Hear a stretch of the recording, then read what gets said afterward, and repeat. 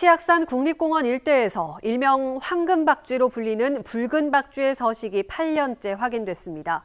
지난 2015년 처음 치악산 국립공원의 공원 자원조사에서 붉은 박쥐의 서식이 확인됐고 추가 모니터링을 통해 같은 개체가 8년 동안 같은 서식지를 이용하는 것이 확인됐습니다. 멸종위기 야생생물 1급이자 천연기념물인 붉은 박쥐는 선명한 오렌지색을 띠는 털과 날개 막, 귀가 특징입니다.